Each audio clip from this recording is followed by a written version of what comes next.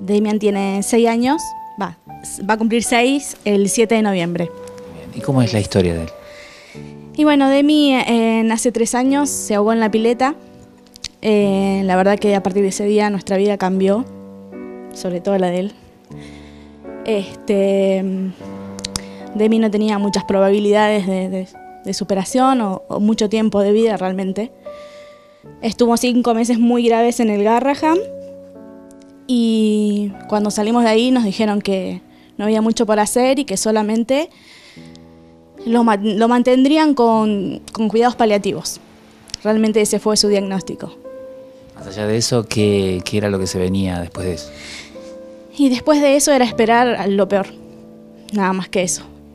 Y bueno, decidimos hacer algo más por él, seguir luchando y, y bueno, empezamos con tratamiento de células madres, eh, Demian consumió cannabis, eh, bueno, hicimos muchísimos tratamientos costosos, pero que bueno, dieron buenos resultados. Hoy Demi dejó atrás su, su pronóstico, esa encefalopatía que, que decían que tenía, la está dejando atrás poco a poco. ¿Qué secuelas quedó- eh, le quedaron? Y bueno, él ahora está caminando de mi mano. Hace un año atrás él se alimentaba por sonda, no sostenía la cabeza, ni el tronco, nada. De mí volvió a nacer. Este, bueno, y aún no habla. Eso está como un poquito estancado ahora, porque quizás, bueno, en un momento fuimos mucho a lo que fue físico, porque estuvo muy, muy, muy mal. Él tenía crisis distónicas, entonces todo su cuerpo se doblaba.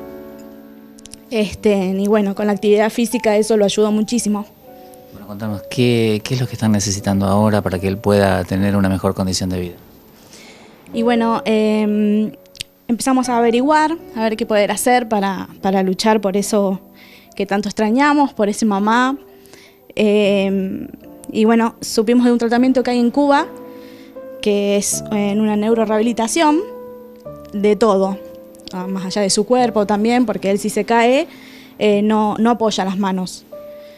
Entonces, bueno, sería como un complemento allá en Cuba, hay de todo, son ocho horas diarias de rehabilitación, este, bueno, que lo ayudarían a salir. ¿Tiene alguna cuenta, algún lugar para poder colaborar? ¿Dónde puede ayudar la gente? Sí, sí, tenemos una cuenta solidaria. Este, bueno, es muy largo el número, no lo acuerdo. Pero bueno, me- se pueden comunicar conmigo por teléfono. Este, por WhatsApp yo puedo mandarle el, el numerito. Decime tu número y también si tienes una red social. Sí, el número sería 1136 70 0057. Y, y bueno, y la red social de él es Todos por Demian. Muchísimas gracias por recibirte y no pierdas las esperanzas. Gracias, muchísimas gracias. Acá vemos el milagro y que todo se puede, si luchamos, vamos a lograrlo. Gracias.